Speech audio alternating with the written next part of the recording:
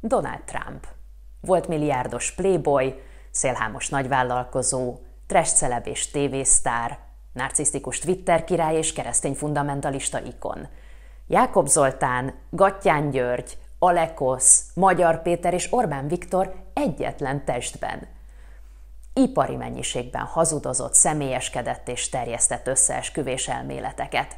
Ma már senki sem csodálkozik azon, hogy amerikai elnök lett. És igazából csak ekkor húzott bele. 70x évesen. Első ciklusa alatt felfegyverezte Ukrajnát, kereskedelmi háborút indított Kína ellen, Jeruzsálembe költöztette az amerikai nagykövetséget, köpött a klímaválságra és a szociális biztonságra. És aztán belebukott a Covid-járványba. És igazából csak ekkor húzott bele. Nem fogadta el Biden győzelmét, követelte az alelnökétől, Mike Pence-től és a kongresszustól, hogy ne ismerje el a választás eredményét, és miután nem járt sikerrel, a hívei megostromolták a kapitóliumot, hogy felkössék az alelnökét. Büntetőügyek sokasága folyik Trump ellen, a zaklatástól a pénzügyi csaláson át egészen a lázadásig. Hát sokan azt hitték, hogy a kapitólium ostromával Trumpnak vége. Megsemmisült, elfújta a szél. De igazából csak ekkor húzott bele. A maga képére formálta a republikánus pártot, a rabosításából sót csinált, az ellene indított eljárásokat összeesküvésnek állította be, social média platformot hozott létre, és újra elnökjelölt lett. Az elnökjelölti tévévitán kifilézte Biden-t, aztán megpróbálták megölni, de túlélte a merénylet kísérletet, múlt héten pedig megsemmisítette Kamala Harris-t. Macséte nem tolta így Mexikóban. Így meggyőző fölénnyel Donald Trump lett Orbán Viktor amerikai helytartója. És hát lefagyott a liberális világ, aminek Trumpal az a legnagyobb baja, hogy négy év elnökség, sok ezer tévés szereplés után nem tudja senki, hogy igazából mit akar. Hogy mit mond komolyan. Mi a vicc? Mi a retorikai túlzás? He says, you're not going to be a dictator, are you? I said, no, no, no, other than day one. We're closing the border, and we're drilling, drilling, drilling. After that, I'm not a dictator. Okay? A szabad világ első embere azt mondja, hogy csak az első napon lesz diktátor kisebb ambíció, mint a veszélyhelyzeti kormányzás, ez kétségtelen. Trump egyszerre ravasz és korlátolt, vicces és bosszúszomjas, karizmatikus és ijesztően fura. Sokaknak magával ragadóan szórakoztató, még másokat durván irritál. Trump olyan a politikában, mint a mulatós a zenében. Azzal a különbséggel, hogy Fási Ádámnak lovak keresztje van, nem atomrakétái. Trump egy felfele mutató középső új az elkényeztetett Hollywoodnak, a messiásként pózoló szilíciumvölgynek, a liberális médiának és a teljes elitnek, mert az amerikaiak többségének elege van az illegális bevándorlókból, a klímaháborúból, mindenféle háborúból, a járványokból, a magas árakból, a transzvécék körüli vitákból és a gazdagokból. És hát elég pikáns választás, hogy az elit elleni lázadásra egy született milliárdos talált az amerikai nép, aki szoros szövetségben Elon Muskkal, a világ leggazdagabb emberével ígéri, hogy lehet más a politika. És végre elviszik a keményen dolgozó amerikai kisemberek hangját Washingtonba. A választási eredmények hallatán a tőzsdék kilőttek. Hold biztos jele, hogy megremegett a világrend. Elon Musk 24 óra alatt 20 milliárd dollárral lett gazdagabb. Hát nagy segítség ez az amerikai családoknak. Ki sem száradtak a domperinyonos üvegek a lázadók ünnepi bulián, a demokratáknál elindult a bűnbakkeresés. Ki hibázott? Ki a felelős a vereségért? A legkézenfekvőbb válasz Kamala Harris aki kockázatkerülő kampányt tolt. Próbált nem hibázni, nyugodtnak, kedvesnek, unalmasnak tűnni. Ez kétségtelenül sikerült. Hogy mi hiányzott belőle, azt az az interjú szemlélteti a legjobban, amikor feltették neki a kérdést, hogy mit csinálna másképp, mint Biden elnök. És éppen nem jutott semmi eszébe, amit másképp csinálna. If anything, would you have done something differently than President Biden? during the past four years? there is not a thing that comes to mind in terms of, and I've been a part of, of, of most of the decisions that have had impact. Biztos van ennél rosszabb válasz, például, hogy katonákat küldene Ukrajnába, de amíg Kamala zárkózott volt, mint egy kamasz, amikor a szülei a szerelmi életéről faggatják, addig Donald Trump tolta a sót.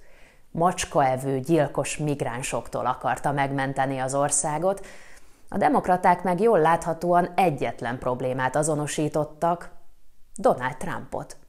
És nem volt rossz ötlet előadni a nyugodt erőt, akitől biztonságot és kiszámíthatóságot remélsz, csak hát nem biztos, hogy Kamala Harris volt erre a legalkalmasabb, aki négy éve még azzal kampányolt az előválasztáson elnökjelöltként, hogy radikálisan csökkenteni a rendőrség finanszírozását. No, nem azért, mert túl sok a rendőr és túl jól fizetettek, hanem mert túl fehérek és túl férfiak. Kevesebb rendőr, nagyobb közbiztonság. Unortodox elképzelés. Ahogy jó kampánystratégia volt szembeállítani az ügyész kamalát a bűnöző Trumpal. Az alulról érkező kamalát Dagobert bácsi aranytrezorjában született Donalddal. Csak legalább egyetlen embert találtak volna, aki emlékszik, hogy Kamala melyik mekiben dolgozott, ha már ezt állította magáról, mert ebből is az lett, hogy Donald Trump mémesült, mint McDonald'sban krumplit sütő jófejarc. Now I have worked at McDonald's. I've now worked for 15 minutes more than Kamala. Okay, she, she never worked here. A vereségre a demokraták kettes számú bűnbakja az a férfi, aki az egész országban a legboldogabb demokrata volt a választás másnapján.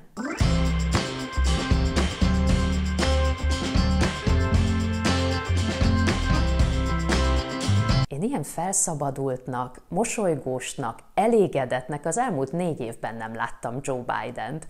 Persze Simán lehet, hogy csak szimplán elfelejtette, hogy éppen most kapott ki a pártja, de az időskori demencián kívül az is logikus magyarázat lehet, hogy az elnökben volt némi tüske amiatt, mert félre lett állítva.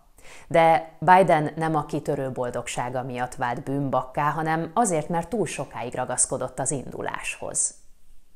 De tényleg, a pofám leszakad, hogyha valaki csak három híradót nézett meg az elmúlt évben, hogy szegény öreg szellemekkel társalog, elalszik, eltéved, eldől, összekeveri Zelenszkit Putyinnal, vagy éppen összefüggéstelenül beszél, annak teljesen nyilvánvaló kellett, hogy legyen, hogy ebben a kedves nagypapiban, hát annyira van benne a következő négy év, mint a 100 kilós Wayne Rooney-ban, hogy visszatérjen a Manchester csatársorába.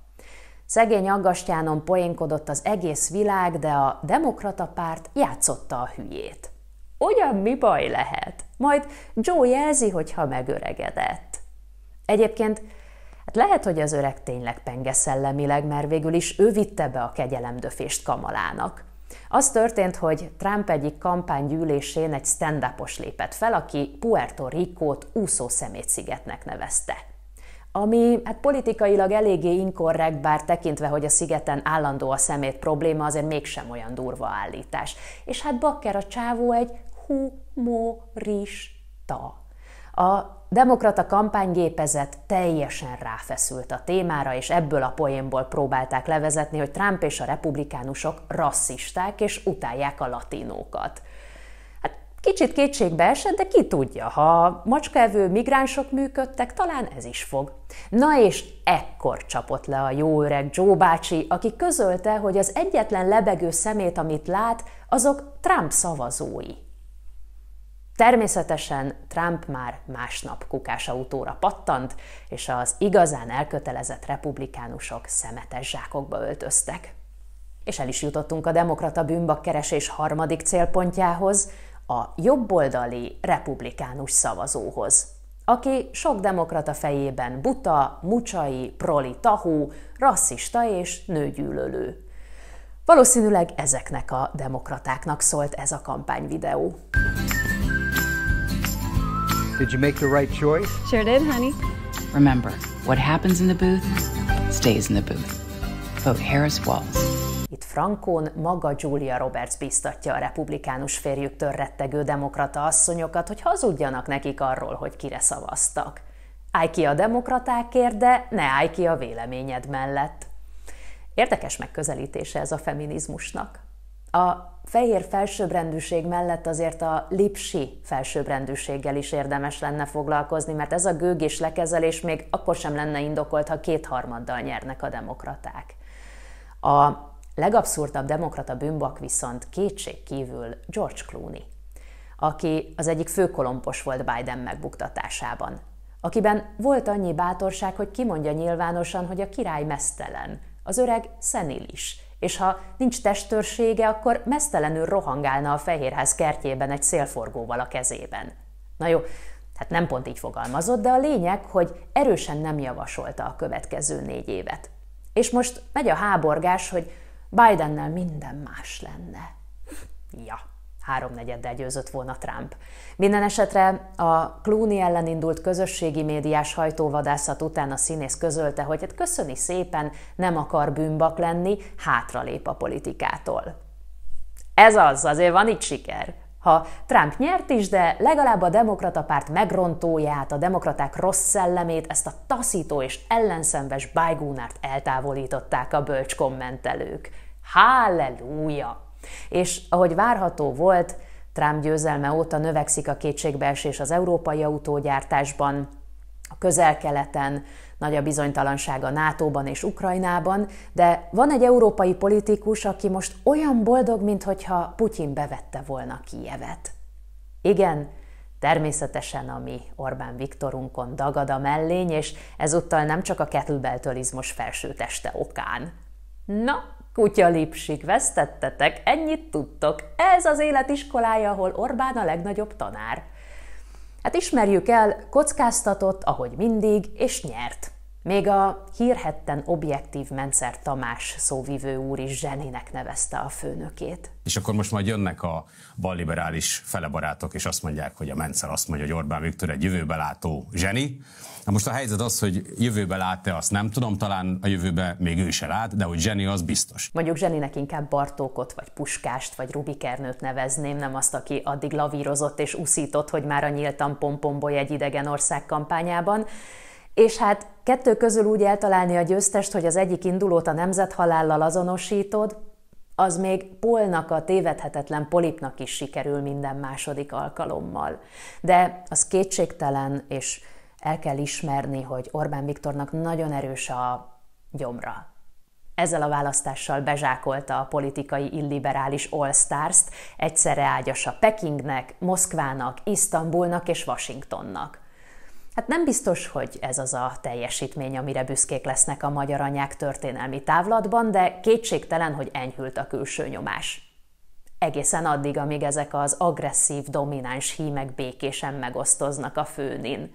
A mondás szerint két urat nem lehet szolgálni.